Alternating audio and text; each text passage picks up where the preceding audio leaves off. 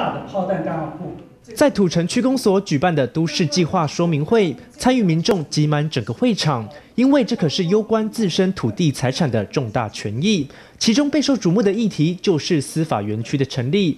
新北市规划将土城看守所、新北地方法院及新北地检署搬迁至土城弹药库所在位置，但由于土城弹药库搬迁后释出的公有土地分布零散，预计将透过地权调整，集中分配公有土地，以利整体的使用。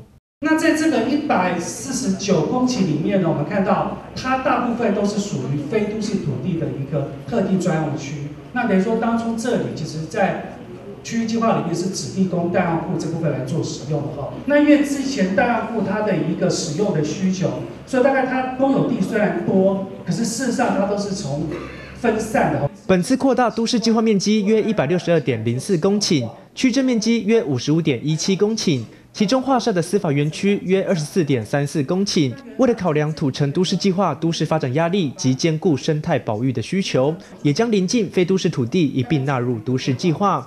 但由于影响的范围也更广，本次说明会目的也是让民众借此发表建议，聆听在地人的心声。就是说，希望呢，它这个容积方面呢，能够适当的放宽了，因为现在。住宅区只有一百八，商业区两百四，这不合理，极不合理。